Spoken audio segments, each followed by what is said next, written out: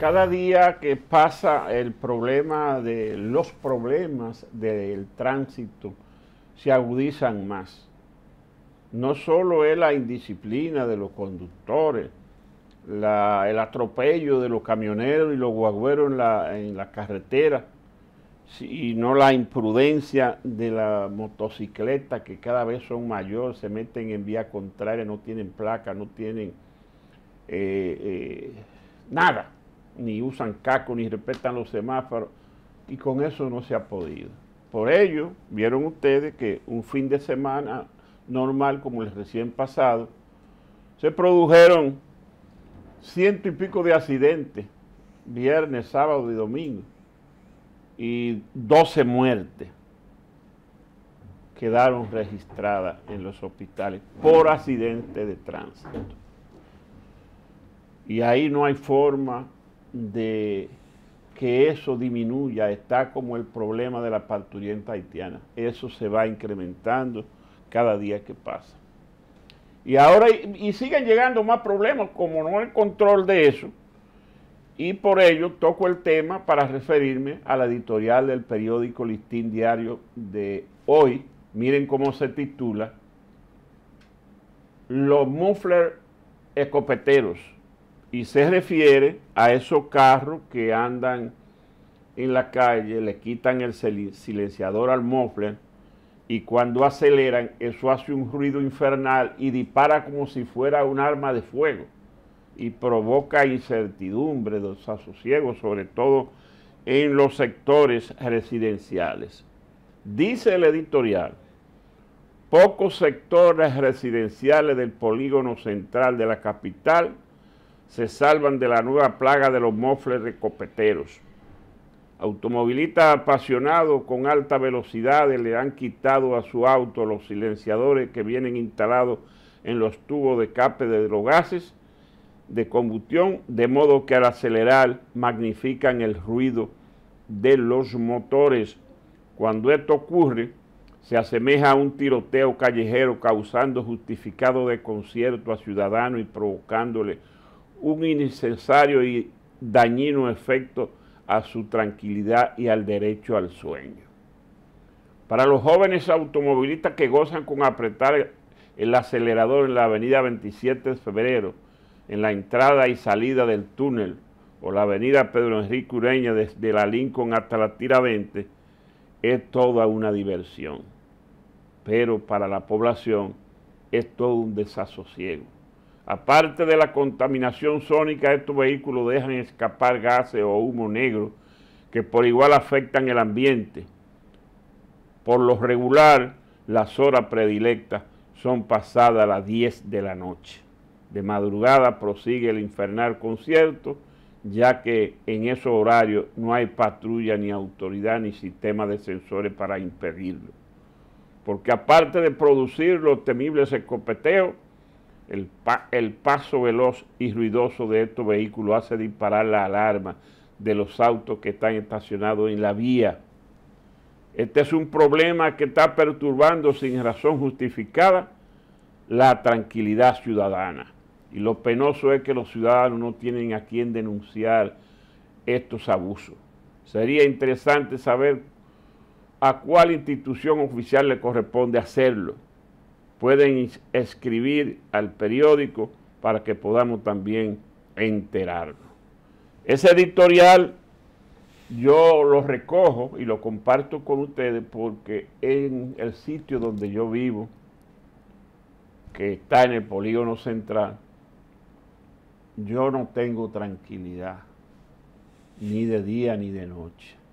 Cualquier momento pasa uno de estos carros que cuando aceleran provoca un ruidazo y sobre todo esos sonidos que parecen disparos y alarman a la población.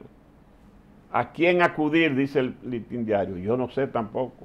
Ojalá que quien tenga que ver con el problema tome nota y trate de corregir ese problema que es uno más en los problemas del tránsito. Mire, don Freddy, la verdad es que es otro tema terrible en la República Dominicana el tránsito. Es lo que usted acaba de explicar, es uno de los trastornos que tiene el tránsito, que intranquiliza, que le quita la paz a la gente. Ay, sí. Pero además, todo el mundo sabe que aquí ya, ya pasamos, antes éramos el segundo país, el número dos, donde había más accidentes de tránsito. Ya somos el número uno. Oiga de lo que estamos hablando. Aquí hablamos de la pandemia del COVID y de que ya eh, ha pasado a ser una enfermedad endémica, al igual que, que el dengue y otras manifestaciones, ¿verdad? De, enfermedades virales que tenemos, que ya son endémicas en la República Dominicana. Pero yo le diría que los accidentes de, tránsito son también endémicos, no son, no son, ni siquiera una pandemia, son endémicos propios de la República Dominicana porque ciertamente hay estudios que determinan que la República Dominicana, en la República Dominicana mueren anualmente más personas por accidentes de tránsito que por cualquier otra enfermedad. E incluso hay enfermedades usted las puede sumar y juntas no dan más muertes que la que hay anualmente en la República Dominicana por accidentes de tránsito y por todo lo que implica el trastorno del tránsito. Y ni hablar de las personas que tienen un accidente y entonces hay que gastar un dinero importante en su rehabilitación. O las personas que quedan perennemente mutiladas. O las personas que quedan inválidas y ya no pueden trabajar, no pueden ser productivas y se convierten en muchas ocasiones en una carga. Y a veces en ese accidente de tránsito que muere es el padre o la madre de familia que llevaba el pan a, esa familia. Entonces, esa familia pasa de, de manera isofacta a la pobreza y a coger muchísima lucha.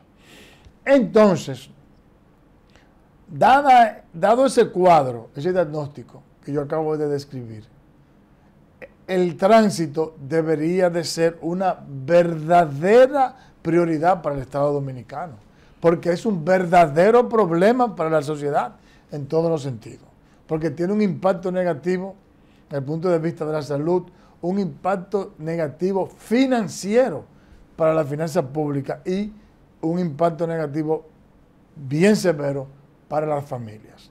Es decir, reitero, debería de ser una prioridad para el Estado Dominicano el tema del tránsito. Que además, también, por el descontrol del tema del tránsito, abunda la delincuencia. ¿Eh? Porque la mayoría de los rateros y los ladrones y los delincuentes de la calle andan en motores. Pero como no hay controles, lo cual, oigan, oigan de lo que estoy hablando, un, un buen sistema de tránsito, de control de tránsito, evitaría de manera significativa o contribuiría de manera significativa a reducir los accidentes, pero también a reducir la delincuencia. Así es. Mire, eh, la prensa nacional y la prensa internacional está recogiendo lo que está sucediendo en la tercera cumbre de la Unión Europea con el CELAR, que se está desarrollando desde ayer en Bruselas, termina hoy. Hemos visto cómo el presidente, ha presidente Abinader, presidente dominicano, ha aprovechado el tiempo para fines de hacer contacto y reuniones bilaterales al margen de lo que es el contenido central del evento, a los fines de adelantar pasos para fortalecer las relaciones culturales, diplomáticas, políticas con diferentes países que están representados allí por su presidente. Se reunió ayer con el presidente Emmanuel Macron de Francia, pero también con el presidente de Guyana. Recuerdan aquella visita que hace poco tiempo hizo el presidente a Guyana. Bueno, pues hizo una segunda reunión en la cumbre de Bruselas y también se ha referido, como decía eh, nuestro compañero Edmundo, al tema haitiano, donde ha calificado al presidente Ariel Henry de valiente, pero que no puede hacer el trabajo solo, sino que tiene que recibir la ayuda internacional para poder controlar la situación de Haití, donde el 30% de los estudiantes no está yendo a la escuela y los hospitales casi todos están cerrados, una situación verdaderamente crítica. Yo quiero que oigamos eh, la intervención ayer del presidente en la reunión de El CELA. Eh, creo que David nos la tiene ahí con su audio y todo. Vamos a escucharla para que entonces luego Mundo le dé la interpretación que yo creo que él le va a dar. Adelante, director. Importancia de reunirnos, deseo recordar que lo primero que nos atrae, aún con todas nuestras diferencias, es el hecho de compartir valores y principios. Entre ellos resaltaría la inviolabilidad de la soberanía y el respeto irrestricto a los derechos fundamentales del ser humano.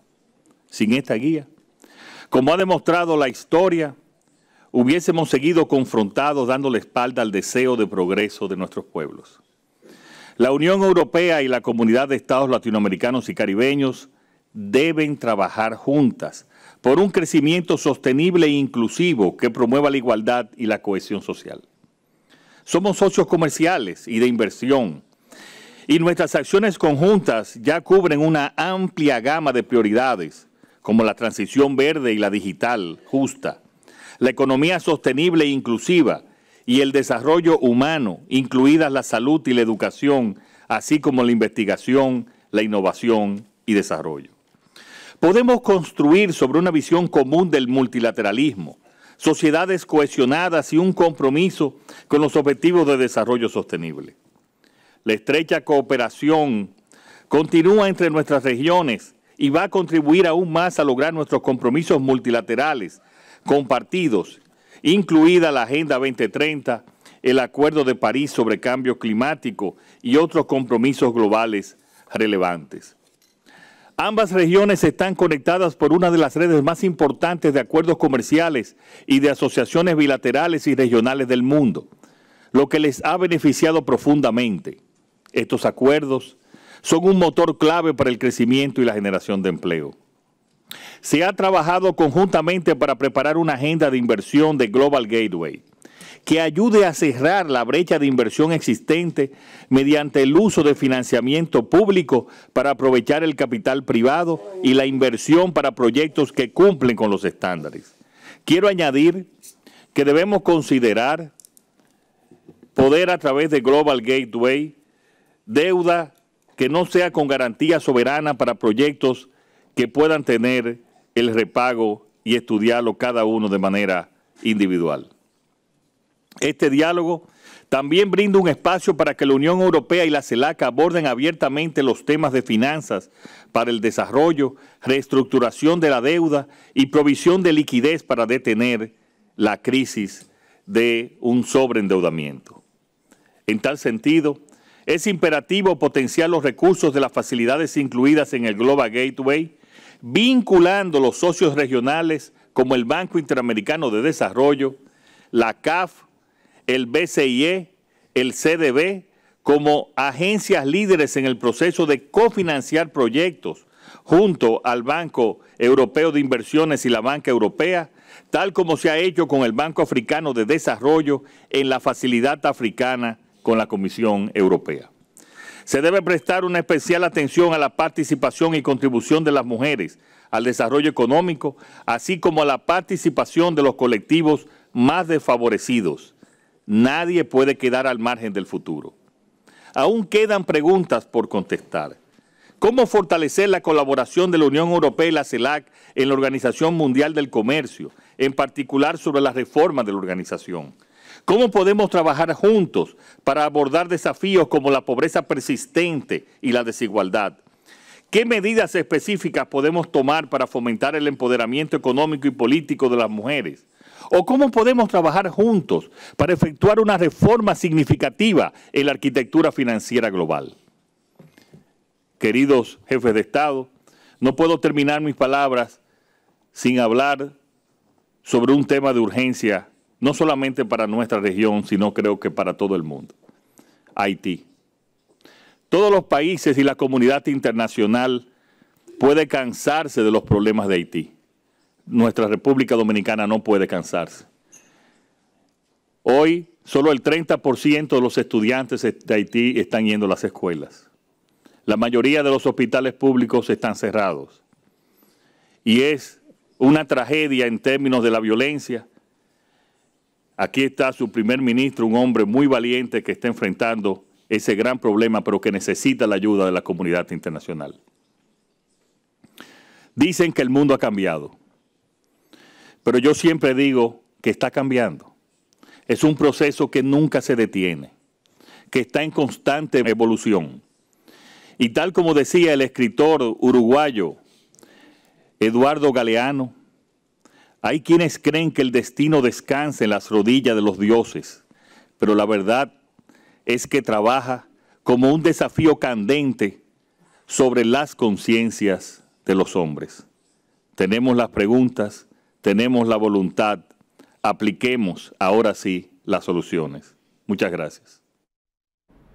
Me gustó el discurso, Mundo. Yo pienso que fue corto, pero muy contundente, tratando los temas medulares que el presidente, esos mismos temas, ya lo ha tratado en otros escenarios internacionales. Bueno, yo no voy a referirme a lo de Haití, ya ha dicho, ha, pedido lo mismo de siempre. Yo insisto, no es que no lo haga, pero yo quiero ver internamente acciones contundentes para enviarle un mensaje también contundente a las, a las eh, a la comunidad internacional para que vea que nosotros eh, sí realmente queremos que el problema se solucione, pero que no vamos a permitir que el problema de Haití nos afecte a nosotros como lo está haciendo y como explicamos en la primera parte del programa, donde ya el 35% de los partos en la República Dominicana son haitianas y que además está desplazando a las dominicanas que están teniendo que ir a clínicas privadas para poder parir. Ahora bien, en la otra parte, en la primera parte de su discurso, interesante.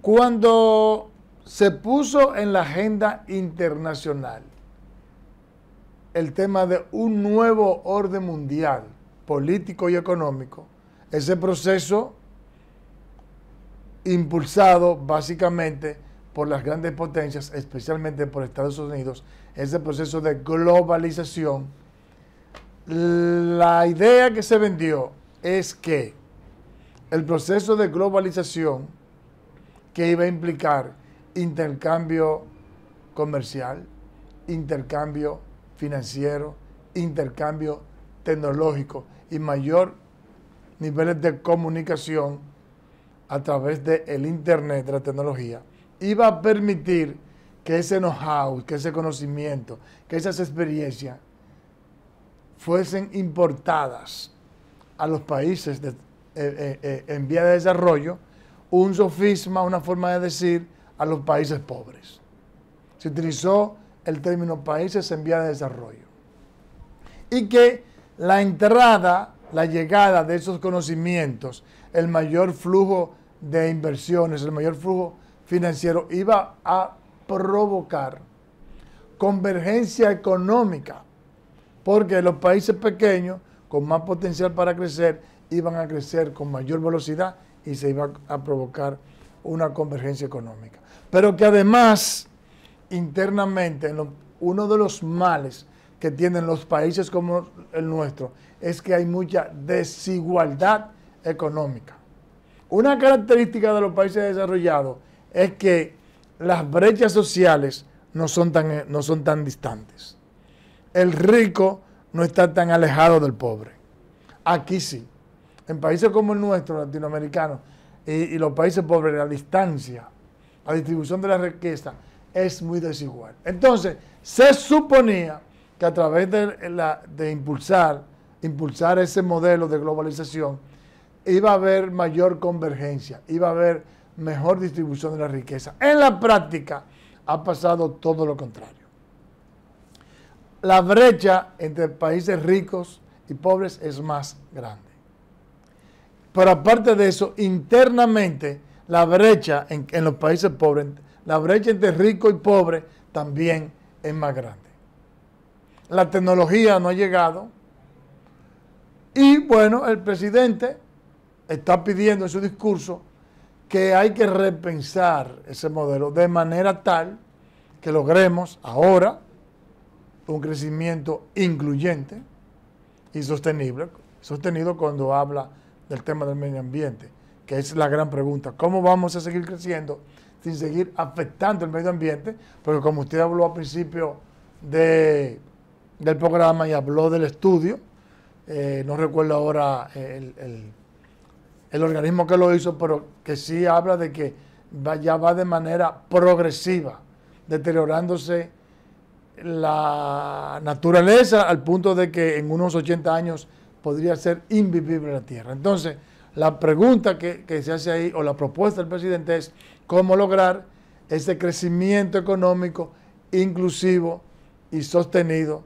Y cuando se habla de inclusivo, se habla de ver cómo se integra a la producción mundial adecuadamente a los países pobres y sacamos gente de la pobreza pero que también haya equidad de género, incluyendo a las mujeres. Así es.